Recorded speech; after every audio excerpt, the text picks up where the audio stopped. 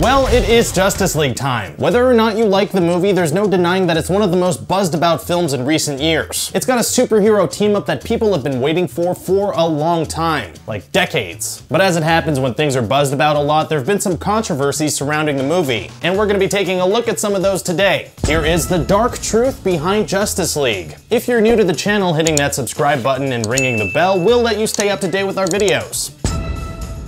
Unless you've been living under a rock, you've heard some of the awful scandals coming out of Hollywood about sexual misconduct. And if you have been living under a rock, let me know if there's any room down there available. Sounds nice? I'd like to move in. Well, Justice League hasn't been untouched by the scandals that are emerging from Hollywood, and that could possibly affect the movie's box office. For one, Ben Affleck was accused of some inappropriate behavior for which he apologized. Jason Momoa also made a very controversial joke about sexual assault, and Joss Whedon, who directed the reshoots, was caught up in a big adultery scandal as well. That's kind of a lot of stuff. Gal Gadot, on the other hand, is using her position of power for positive change. She said she refuses to return for Wonder Woman 2 if producer Brett Ratner is attached to the project. Because if you didn't hear the news, he's also a scumbag. Just a big bag of scum.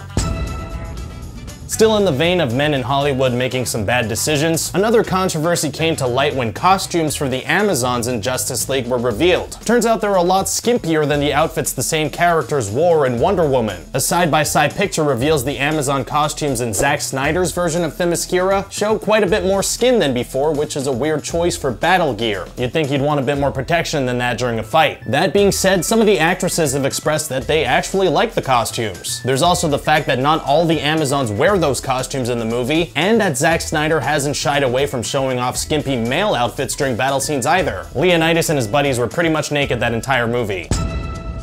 When Batman v Superman came out last year, it was met with a pretty abysmal score on Rotten Tomatoes, actually even before the movie even came out. A lot of people argued that that hurt the film by giving people bad expectations heading in, and maybe it even affected the box office numbers. There were also people calling for a boycott of Rotten Tomatoes because they gave the movie a bad score. Of course, those people didn't realize that Rotten Tomatoes just aggregates reviews, but whatever. For the release of Justice League, Rotten Tomatoes seems to have made a decision to prevent that same kind of backlash, but by doing so created another controversy. They decided to withhold the tomato score until opening day. Now, their official on-the-record reason for this is that they wanted to unveil the score during their See It, Skip It Facebook show, but a lot of people are up in arms about the withheld information. You just can't win.